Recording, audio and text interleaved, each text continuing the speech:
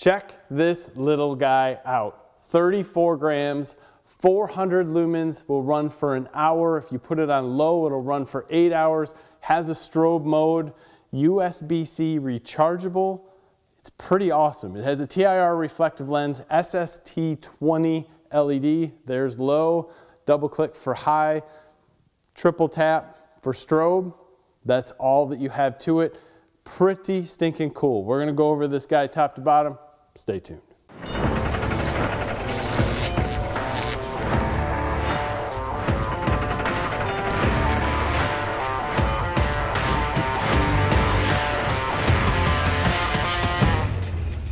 So in my humble opinion, this light is more of a light that you would use in a mechanical situation, but it can be used in other situations. I want to show you basically what it's like to look underneath the hood and we can see that it's pretty dark.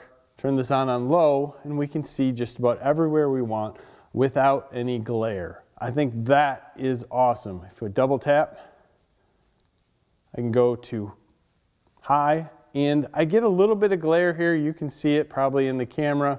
But if we want to look around and really get into some higher light situations, we can. I don't think that it's necessary. If I just drop down to low here, it works just fine. I think that is what is perfect with this flashlight. While this can be used in a low light situation, no issue. That's low. That's only 18 lumens when we look around. So double tap, boom. This is 1800 candela. So it's not a lot of candela, but at the same point, it is, you know, it's, it's good. It means that the light is going to give you a lot of lumens up close and it's better for a more floody situation than a spot. And I think this is pretty neat. You're going to get 2.8 minutes at this point at the 408 lumens, and then you're going to end up dropping down to 175 for 52 more minutes before it is dead. So that is not bad for a light that is this small when you really look at what it can put out. Now let's just drop down here to low.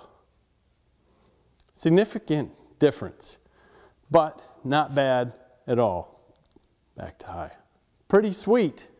That kind of performance out of this small light is absolutely amazing. And this light is similar to a pencil light, maybe shorter, but at the same point I can still hold it in my hand, click that button without issue, double tap easily, even triple tap if I want, but simple. It does have an lock mode on it if you want to push the tail cap and hold. It will then flash letting you know that it's in lock mode like that. And then if we just push and hold again, it will come out of its lock mode. Very simple. But other than that, there's not much to do with this. If you turn the cap out, it will unscrew.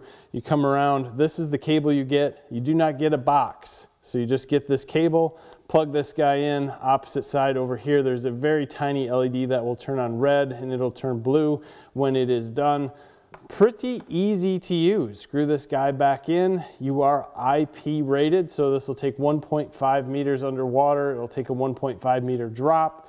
You can take off the tail or the uh, clip if you'd like.